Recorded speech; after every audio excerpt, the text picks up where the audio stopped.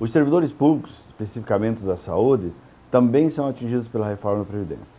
São atingidos pela regra geral, que diz que daqui, aqueles que ingressarem após a, a aprovação da, da emenda é, só se aposentarão aos 65 anos a mulher, o homem aos 60 anos, 62 anos a mulher, é, 65 anos o homem, 62 anos a mulher, também fazendo cálculos pela média aritmética e com valor inicial, com aos 62, 65 anos, e aumento progressivo até chegar aos 100% da média. Mas para isso eles deverão contribuir ambos por é, 40 anos, né, ininterruptos na prática. Né. Terão, se, se, houver alguma interrupção, isso será descontado e o tempo será ainda maior que 40 anos. É, existe uma regra de transição que estão propondo. Qual é a regra de transição?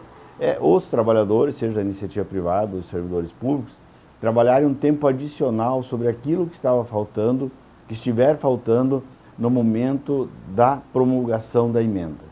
Então, se ela fosse promulgada em dezembro de 2017, por exemplo, eh, os trabalhadores deveriam trabalhar um tempo complementar de aproximadamente 30%, de 30% sobre o tempo que estivesse faltando na data da promulgação da emenda.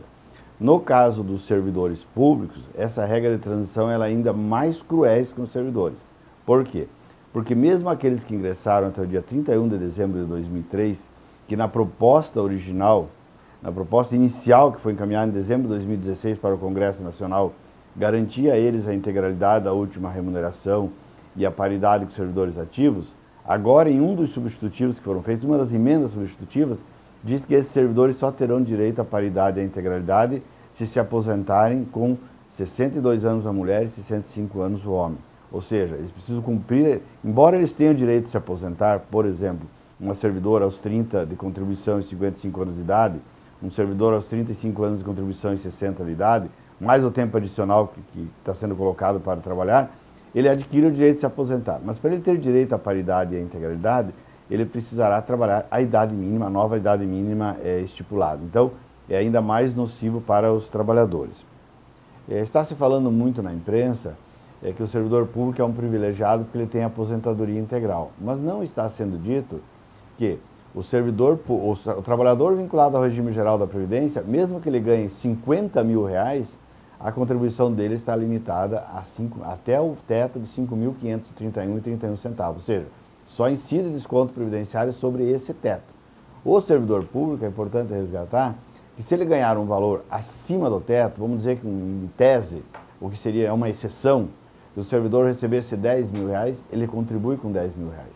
Então, o fato de ele ter direito à aposentadoria é, integral é porque ele contribui sobre a integralidade do que ele recebe. E outra questão que precisa ser dita também é que a sociedade precisa saber que todos os servidores públicos que ingressaram depois do dia 31 de dezembro de 2003, ele já não tem mais direito à aposentadoria integral e paridade com os demais servidores públicos. O cálculo da aposentadoria dessas pessoas é a média aritmética das 80%, dos 80% melhores salários de contribuição e desde que essa média não seja maior do que a última remuneração.